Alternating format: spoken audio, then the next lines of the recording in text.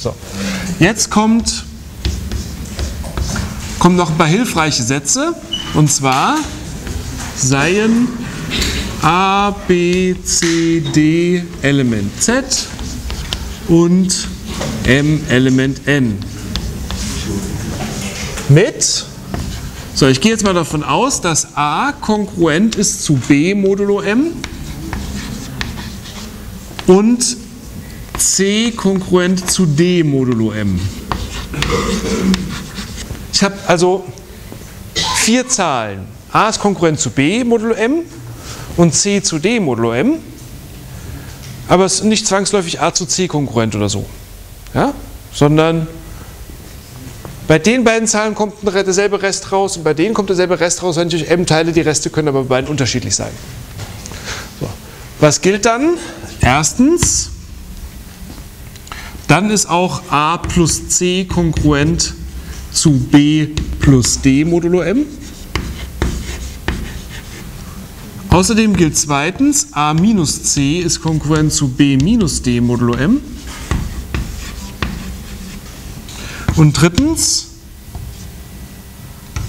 A mal C ist konkurrent zu B mal D modulo M. Sie können also, wenn Sie zwei solche Konkurrenzen haben, die kombinieren, indem Sie beide addieren, beide subtrahieren voneinander oder multiplizieren. Jetzt werden die eingefleischten Arithmetiker unter Ihnen fragen, da fehlt aber noch die Division. Warum fehlt da die Division? Ganz einfach, weil es nicht gilt. Ja? Zumindest nicht immer. Die Division ist hier eine Ausnahme und bei dieser Ausnahme, die gilt nicht, die kann man jetzt hier nicht so hinschreiben, das ein, da gilt, gilt nur in speziellen Fällen eine ähnliche Aussage und bei der möchte ich, dass Sie die mal sich selbstständig erarbeiten im Buch. Ja? Das steht im Buch. Also im Buch ist, sind die Beweise hier zu diesen drei Fällen und dann wird auch gezeigt, warum das bei der Division nicht so einfach ist und gezeigt, was bei der Division gilt. Das lesen Sie sich mal durch. So, das schaffen Sie allein. So. Wir zeigen jetzt aber mal hier diese drei Aussagen. Also, wir wollen zeigen, dass a plus c konkurrent ist zu b plus d modulo m. Wie können wir anfangen? Wir wissen, das gilt und wir wollen das zeigen. Wie fangen wir an?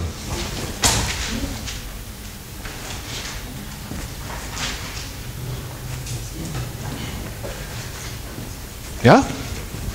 Sie? Hm? A, mod n plus C mod n äh, ist gleich B mod n plus D mod n? Oder ist das dann die richtige Ausführung von 1? Ach so, ich weiß jetzt, Sie, Sie sind, Sie sind der, unser Definitionsmann. Sie gehen über die Definition, immer, ne? Das ist Ihr Lieblings, äh, zu gehen. Ihre, Ihre Strategie wäre zu sagen, A mod M gleich B mod M und C mod M gleich D mod M. Und dann ist auch A mod M plus, B, plus C mod M gleich B mod M plus D mod M.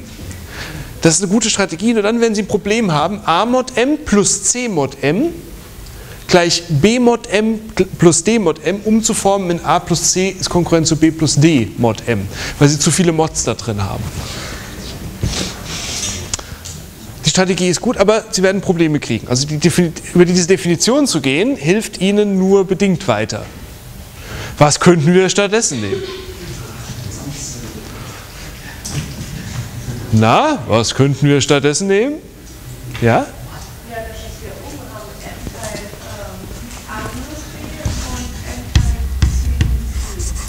Also m teilt a minus b und m teilt c minus d, okay. Was gilt dann?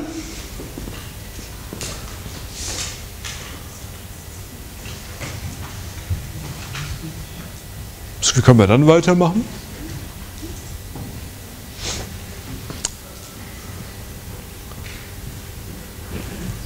Ja?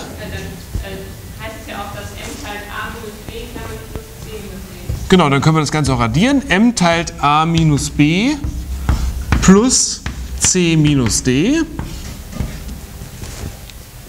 Wie geht es weiter?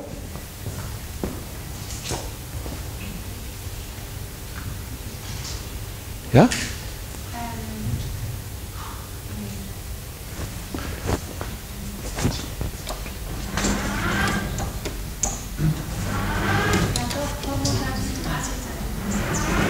Ja, genau. Kommutativgesetz, Assoziativgesetz mehrfach anwenden und so. Wo wollen Sie denn hin? Zu A plus C und B und D zusammenfassen. Sie wollen zu A plus C und B und D wollen Sie zusammenfassen. Genau. Warum wollen Sie zusammenfassen? Weil das ja in erstens gezeigt werden soll. Ja, Sie gehen also jetzt gerade rückwärts, ne?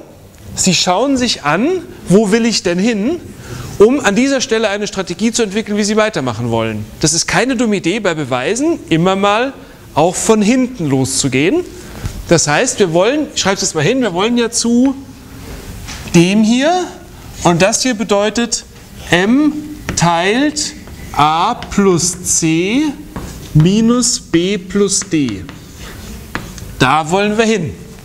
Weil das hier ist äquivalent zu dem. a plus c minus b plus d.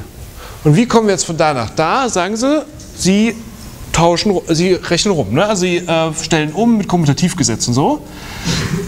Hier steht a minus b plus c minus d. Daraus folgt m teilt a plus c minus b minus d. Wenn man mal das Ganze umgestellt hat. Naja. Und das ist der nächste Schritt, ne?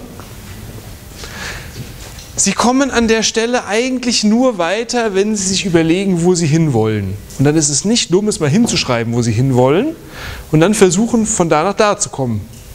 Ne? Das heißt, Sie denken bei Beweisen natürlich auch immer vom Ziel aus, denken, wo will ich hin?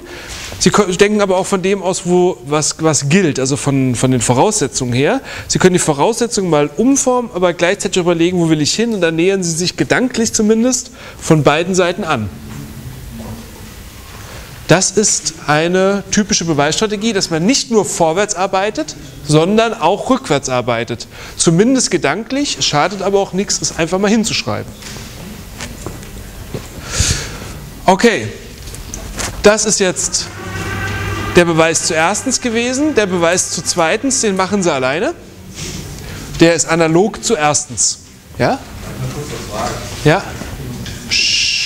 Also wenn man rückwärts das man ja auch erstmal das Letzte wissen, auf was man rauskommt. Ja. Und wir sind ja bei den letzten, bei der letzten Zeile sind wir draufgekommen, weil A plus C ist ja im Prinzip unser A und B plus D ist unser B. Wenn wir diesen Satz da insertieren. Dann, da muss ich gerade zeigen, genau muss da nicht B plus D in Klammern sein mit Mod M. Oder Das ist in Klammern gedacht hier. Das gehört zusammen. Diese Seite ist konkurrent zu dieser. Ach so, Also Sie müssen sich das, wenn ich so hinschreibe, so denken, ja? Okay, ich dachte, weil da müssen wir vielleicht bei B noch ein Mod M hinzufügen. Das ist, Nee, wenn es in die Klammern lernt, dann ist mir klar. dieses Mod M, wenn ich so hinschreibe, ist nicht gleich diesem Operator, ja, sondern das hier bedeutet nur, dass das hier konkurrent ist zu dem und ich muss halt sagen, modulo welchem M. So, genau. Okay, zweitens zeigen Sie mal analog zur ersten selbst. Ja? Jetzt zeigen wir noch drittens. Wir wollen zeigen, dass A mal C konkurrent ist zu B mal D modulo M. Womit beginnen wir?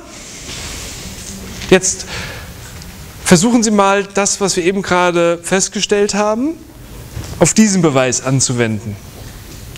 Mal von vorne und von hinten und so. Ne?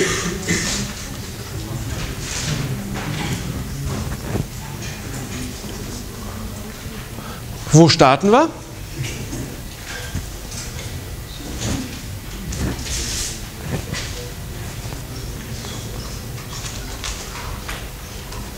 Na, die Voraussetzung ist das hier und wir wollen drittens zeigen. Also die Voraussetzung ist das hier. Wie könnten wir das mal umformen? Wow. Genau wie da natürlich. Ne?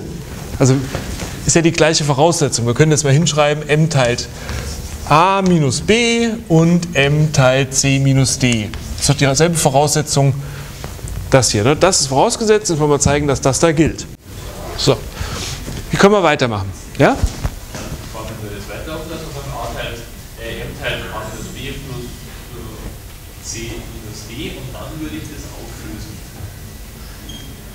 Also dann würde ich praktisch das, das, das, das, das, dieses Teiler-Dingsbums wegschreiben und würde dann eben das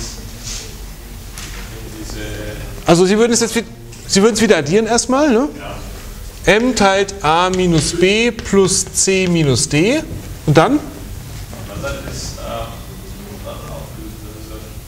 Ja, wie? Okay. Dann könnte man das m mal q ist gleich das da anwenden und dann? Da haben wir schon mal das Multiplikationszeichen drin, sehr gut. Ja. Aber Sie sehen, das ist jetzt, das kann man alles machen, das sind alles algebraisch korrekte Umformungen, noch auch äh, aussagenlogisch korrekte Umformungen, aber nicht zielführend. Wenn wir zielführend arbeiten wollen, also ich sehe jetzt natürlich, dass es nicht zielführend ist, aber Sie vielleicht noch nicht an der Stelle. Wenn wir ein bisschen zielführender arbeiten wollen, wie könnte man jetzt vorgehen an der Stelle, wenn man nicht so genau weiß, was man machen soll?